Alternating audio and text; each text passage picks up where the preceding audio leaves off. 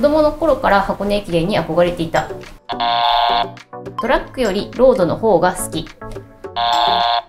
陸上人生で忘れられない悔しいレースがある。大学4年間で最も印象に残っているのは2019年出雲駅伝の優勝だ。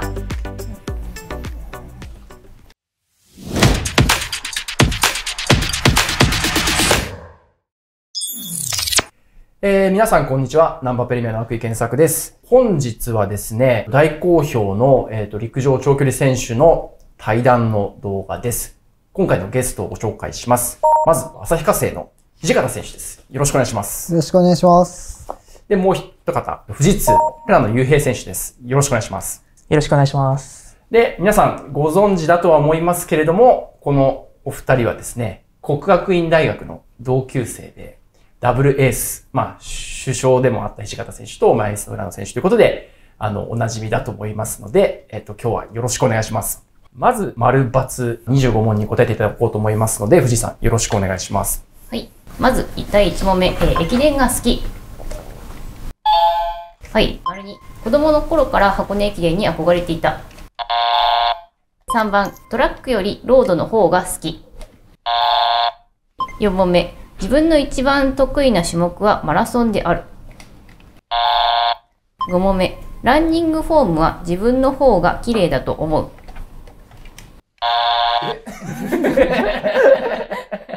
はい、えー、6問目。好きな競技場、得意な競技場がある。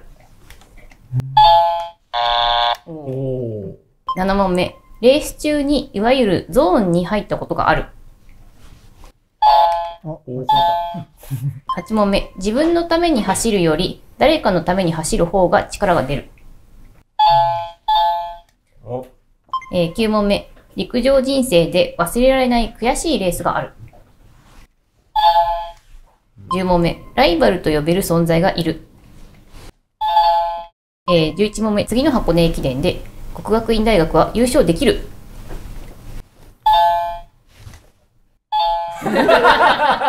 はい12問目。箱根駅伝でここを走ってみたかったという区間がある。お13問目。自分たちが歴史を変えた実感がある。おえー14問目。大学4年間で最も印象に残っているのは2019年出雲駅伝の優勝だ。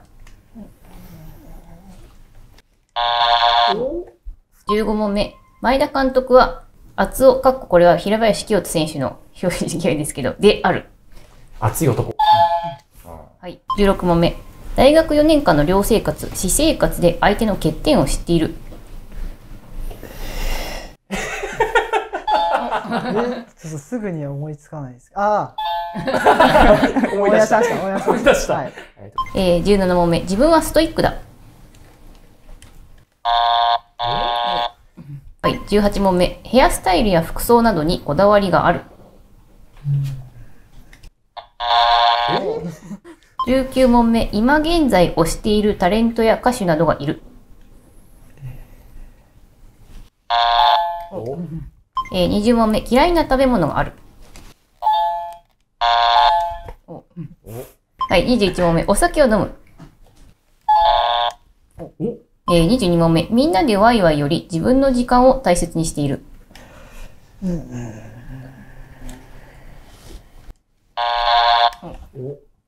おえー、23問目。陸上以外でやってみたい仕事がある。おえー、24問目。2025年世界陸上東京大会で活躍するのは自分だ。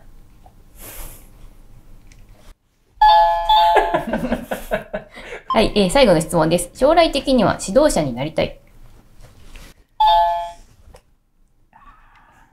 おおありがとうございます。ありがとうございます。じゃあ、まず、1問目の方から振り返っていきたいと思います。駅伝が好きはお二人ともイエスということです。それは、やっぱ大学卒業して、実業団になっても変わらないですか？そうですね。変わらないですね。うん。う、浦野選手はそうですね。なんか、駅伝ってやっぱり日本独特の文化でもありますし、うん。特別な思いはありますね。ある。うん。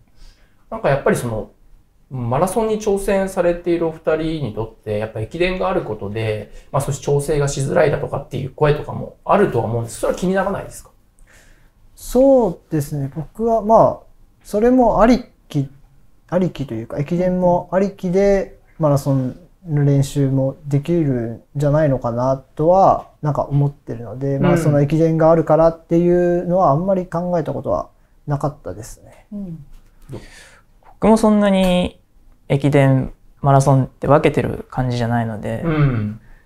駅伝の練習しててマラソンを走れることもあれば、マラソンの練習してて駅伝走れるっていうことも必ずあると思うので、うんそんなに、なんなんですかね、特別邪魔になってるとかそういうのはないと思います。なるほど。じゃあうまく年間の練習計画の中に、その駅伝の試合だったり、それに向けたトレーニングを組み込めているっていうことですかね。そうですね。はい。うんそれで、えっと、答えが次の質問分かれました。子供の頃から箱根駅伝に憧れていた。石形選手はイエス。はい。浦野選手、ノー。はい。まずノーから聞きましょうか。あんま憧れてなかっそうですね。僕は高校から陸上始めてるので、た。は小さい頃っていうのは全くこういう陸上をするっていう思いがなかったので、い。うん。そういう箱根駅伝走りたいとかっていうのはなかったですね。特にお正月とかも見てなかっは見てましたた。。見てはいた。もうテレビの中の人たち、うんそういうスポーツみたいはな感じでしたね。うん。なんで高校から陸上を始めたんですか？えーっと、中学校に陸上部がなくて、駅伝大会があった時に、なんか寄せ集めのチームで出て、うんうん。区間賞取れちゃって、駅伝出たら、まあもともと走るのも好きでしたし、まあ勧誘受けて、じゃあややろうかなみたいな。親にはもう反対されたんですけど、なんでですか？いやもう野球やるって言って、あのー本当に進路決ま、ほぼ決めてたので、うん。ギリギリになって本当に帰れるって形だったので、頭下げて、なんか、都大路に出るんじゃなくて、箱根駅伝に出るから陸上やらせてくれっていうので、お親の快諾を得て、ええはい、始めました。え、じゃあそれはあれですか？中学校3年生で、高校を選択するとき、どこを受験しようかっていうときに、もう箱根駅伝っていうターゲットがあったわけですか？そうですね。それを条件に飲んでもらったって感じです。もう高校自体も変わったので、うん進学する。はい。ええ親を親御さんを説得する材料としてのそうですね。はい。なるほど。へえ。石川選手はもうごご家族でみんな箱根駅伝見てて、走る頃小さい頃からずっとやっててって感じですか？そうですね。まあでも、んなんか、自分が箱根駅伝で、まあ、箱根駅伝をんしっかり見るようになったのは中学生の頃からなんですけど、うんまあ箱根駅伝っていうものは、まあオリンピックみたいな感じで、まあある存在は分かってはいたので、もう小学校の段階から、小学校6年生のなんか卒業式の時に、そのなんか一言目標を言うんですけど、もうそこで箱根駅伝、も目標の箱根駅伝ですみたいなことは言った記憶はありますね。その時からずっと箱根駅伝が目標でやってました。当時見てて憧れた選手とかっていますか？